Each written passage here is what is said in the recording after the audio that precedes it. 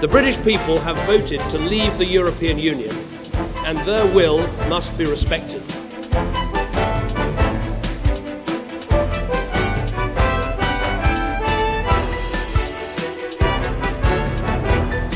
Our country needs strong, proven leadership to steer us through this period of economic and political uncertainty.